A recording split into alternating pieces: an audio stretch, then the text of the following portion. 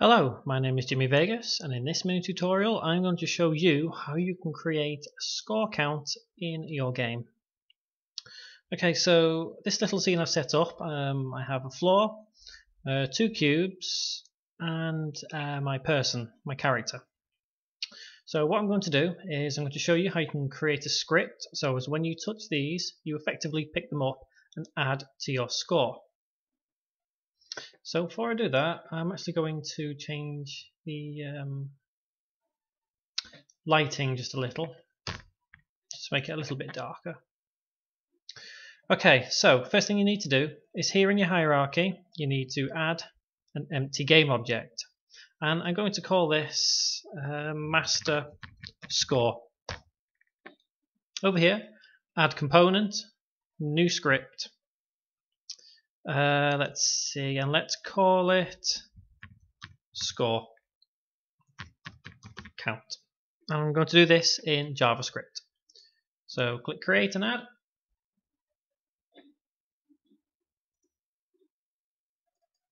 Okay, so we open up our score count script and it opens up in MonoDevelop within Unity as such, which enables you to write and uh, review code for your game.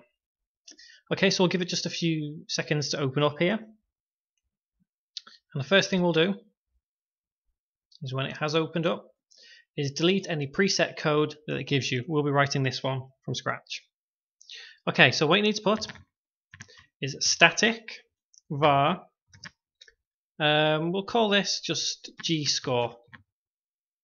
Um, we'll make it an integer and we'll make it equal to 0. So effectively what we've done here is we have said we want to state this variable known as gscore which can be called anywhere within the game, not just in this script.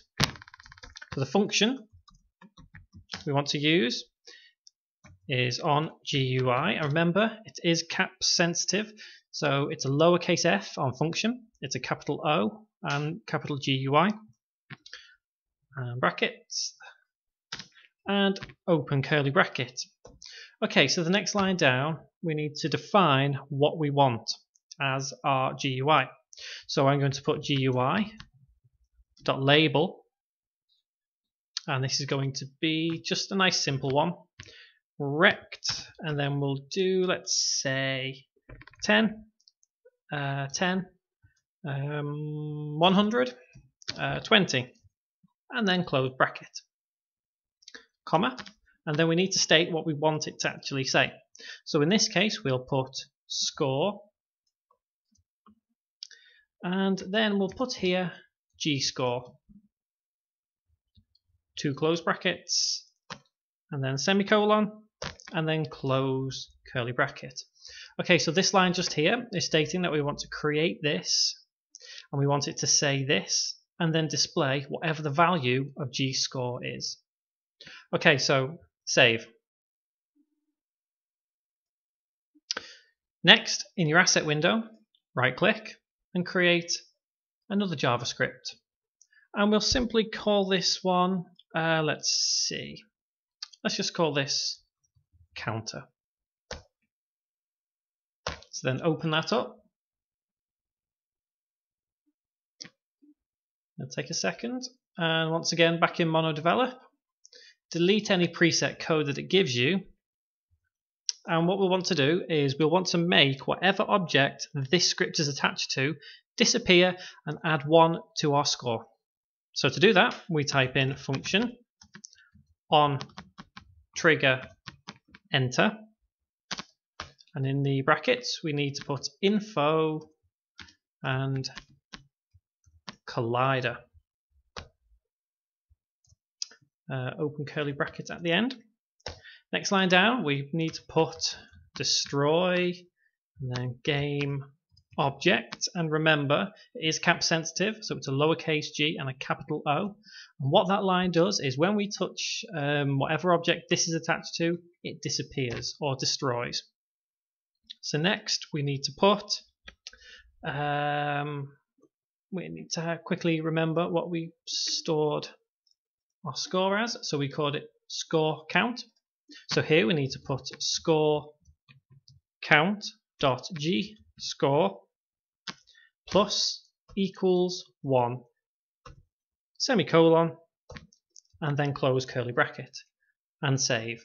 So what we've done here is reference our first script we wrote, which was score count, and reference the variable that hides within it called gscore.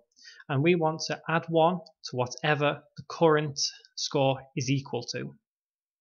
So if we head back into Unity, and then if we place our counter onto our objects just here, which we want to um, count as our score. So I just have a yellow cube and a blue cube, and you should see down here that they have counter. So now on your character, your controller,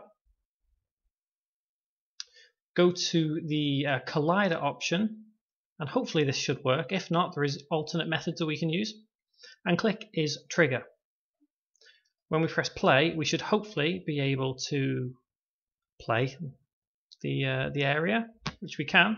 Oh, nope, he just falls. But you can see just here our score is working. Okay, so one quick way to get around that.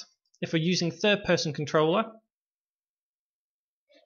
you can click on Ethan Body, as I have the default controller, add component, and uh, physics, and then we'll just put a box collider and make sure that is ticked as trigger.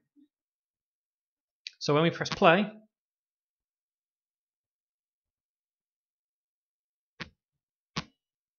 what we need to do, as it isn't quite as we want it, we need to increase our box collider size.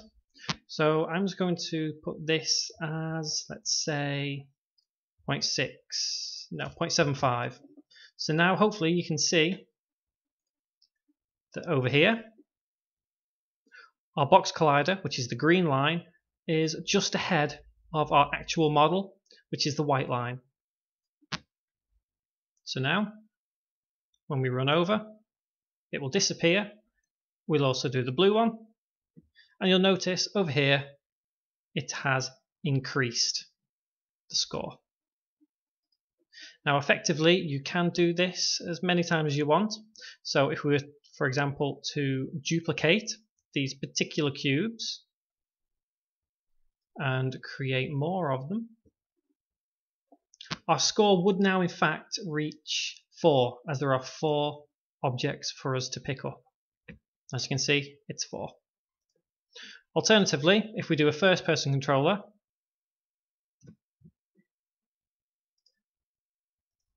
standard assets, characters, first person controller, prefab, and let's put our first person in about there. And let's pull them up. Okay, so fingers crossed, if we add component and um, physics box collider and put is trigger, this should hopefully work. But we will soon see.